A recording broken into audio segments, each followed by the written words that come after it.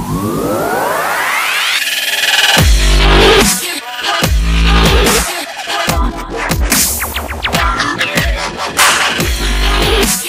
welcome back to gadgets tour और आज की इस वीडियो में मैं आपको बताऊँगा कि आप अपने किसी भी एंड्रॉयड डिवाइस का बूट एनिमेशन कैसे चेंज कर सकते हैं। जी हाँ बूट एनिमेशन इसके लिए आपको एक जिप फ़ाइल की ज़रूरत पड़ेगी।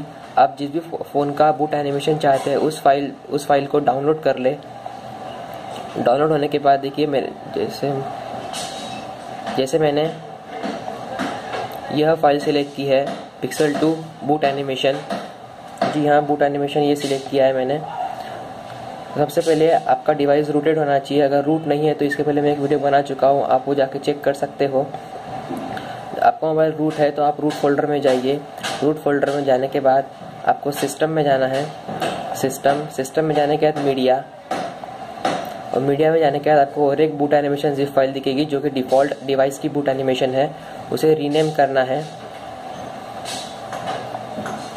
रीनेम करना है डॉट डी ए के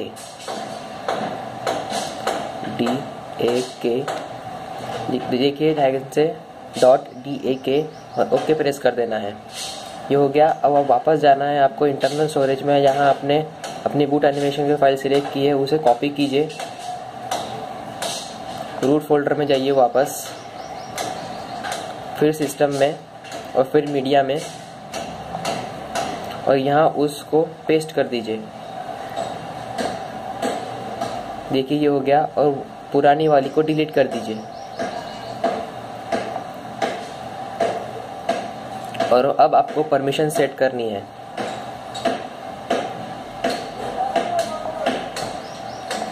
और आपको परमिशन में सिलेक्ट करना है।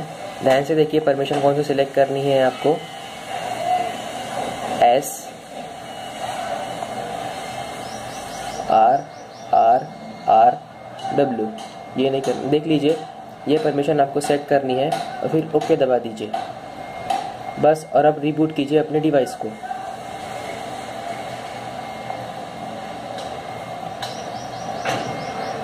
रिबूट हो रहा है।